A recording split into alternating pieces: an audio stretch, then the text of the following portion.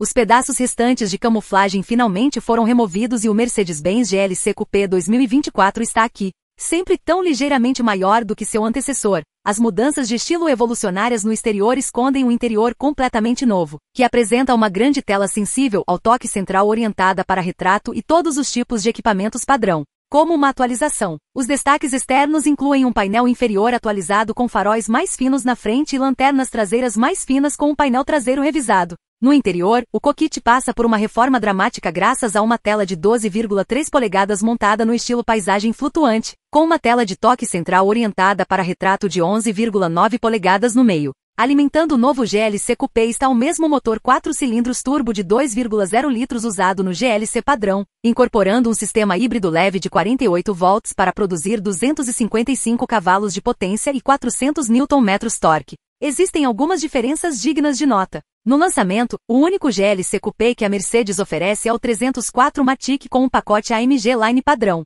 isso significa que todos os cupês recebem a elegante grade em estrela AMG e rodas de 19 polegadas, 20 polegadas são opcionais. A forma revisada reduz o coeficiente de arrasto para 0,27, e o interior vem com recursos padrão da AMG Line, como um painel forrado de couro com uma ampla variedade de folheados de madeira para acabamento. Um teto solar panorâmico também é padrão, e no departamento de tecnologia, o pacote AMG Line inclui assentos aquecidos ao redor, som surround Burmeister 3D, carregamento de telefone sem fio e o mais recente sistema MUX. Em termos de espaço, as coisas são obviamente bem diferentes das costas do pilar B. Há 543 litros de espaço de porta-malas atrás dos assentos traseiros, um pouco menos que o GLC padrão, mas um pouco mais que o GLC Coupé do ano passado. Dobre a segunda fileira e você encontrará 1.490 litros de espaço total, também uma melhoria em relação ao modelo anterior. Enquanto comparamos o novo com o antigo, o GLC Coupé 2024 é 1,2 polegadas mais longo e menos de um quarto de polegada mais alto que seu antecessor.